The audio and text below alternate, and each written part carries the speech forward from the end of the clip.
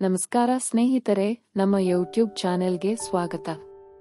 ಸ್ನೇಹಿತರೆ, ಮನೆಯಲ್ಲೇ ಇರುವವರು ಸಾಮಾನ್ಯವಾಗಿ ಮಧ್ಯಾಹ್ನ ಊಟ ಮಾಡಿದ ನಂತರ ನಿದ್ದೆ ಮಾಡುವ ಸಹಜವಾದ ರೂಢಿಯನ್ನು ಹೊಂದಿರುತ್ತಾರೆ. ಅದು ಅವರಿಗೆ ಸಾಮಾನ್ಯ ವಿಷಯ, ಆದರೆ ಅದೇ ಕಾಲೇಜಿಗೆ ಹೋಗುವವರು, ಹೊರಗಡೆ ಹೋಗಿ ದುಡಿಯುವವರು ಹೀಗೆ ಪ್ರತಿಯೊಬ್ಬರಿಗೂ ಸಹ ಮಧ್ಯಾಹ್ನ ಊಟ ಮಾಡಿ ಮಲಗುವ ಅಭ್ಯಾಸ ಇರುತ್ತದೆ ಹೀಗೆ.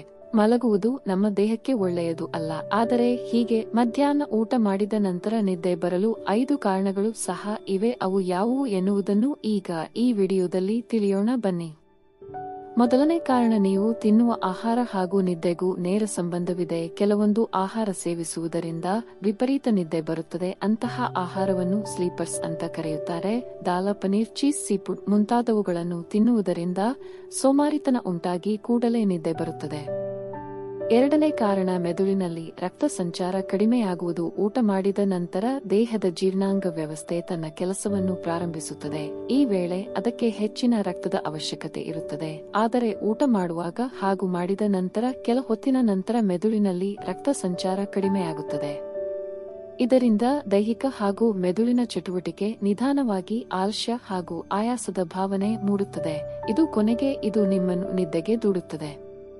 ಮೂರನೇ ಕಾರಣ ಅಧಿಕ ಊಟ ಮಾಡುವುದು ವಿಜ್ಞಾನಿಗಳ ಪ್ರಕಾರ ಮಧ್ಯಾಹ್ನ ಹೆಚ್ಚು ಊಟ ಮಾಡುವುದರಿಂದ ಅಥವಾ ಹೆಚ್ಚು ಕಾರ್ಬೋಹೈಡ್ರೇಟ್ ಯುಕ್ತ ಆಹಾರವನ್ನು ಸೇವಿಸುವುದರಿಂದ ದೇಹವು ಭಾರವಾಗಿ ನಿದ್ದೆ ಬರುವಂತೆ ಮಾಡುತ್ತದೆ. ಹೆಚ್ಚು ಭೋಜನ ಮಾಡುವುದರಿಂದ ದೇಹದಲ್ಲಿ ಇನ್ಸುಲಿನ್ ಮಟ್ಟ ಹೆಚ್ಚಾಗುತ್ತದೆ. ಇದರ ಪರಿಣಾಮವಾಗಿ ನಿದ್ದೆಯ ಹಾರ್ಮೋನ್ ಹೆಚ್ಚಾಗಿ ನೀವು ಬಯಸದೆ ಇದ್ದರೂ ಕೂಡ ನಿದ್ದೆ ಬರುತ್ತದೆ.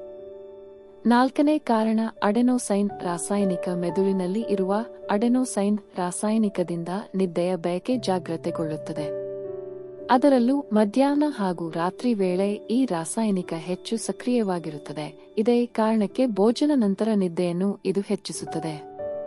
ಐದನೇ ಕಾರಣ ಸುತ್ತಮುತ್ತಲಿನ ವಾತಾವರಣ ಮಧ್ಯಾಹ್ನ ಎರಡರಿಂದ ಮೂರು ಗಂಟೆಯ ನಡುವೆ ವಾತಾವರಣದ ತಾಪಮಾನದಲ್ಲಿ ಸ್ವಲ್ಪ ಕುಸಿತ ಕಂಡುಬರುತ್ತದೆ. ಈ ವೇಳೆಯಲ್ಲಿ ದೇಹದಲ್ಲಿ ಸಣ್ಣ ಪ್ರಮಾಣದ ಮೆಲಟೋನಿನ್ ಹಾರ್ಮೋನ್ ಚಲಿಸುತ್ತೆ. ಇದು ನಿಮ್ಮನ್ನು ಯಾವಾಗ ಬೇಕಾದರೂ ನಿದ್ದೆ ಮಾಡಲು ಸಹಕರಿಸುತ್ತದೆ. ಅಕ್ಕಪಕ್ಕದ ವಾತಾವರಣ ಆರಾಮದಾಯಕವಾಗಿದ್ದರೆ ಭೋಜನದ ನಂತರ ಖಂಡಿತ ನಿದ್ದೆ ಬರುತ್ತದೆ.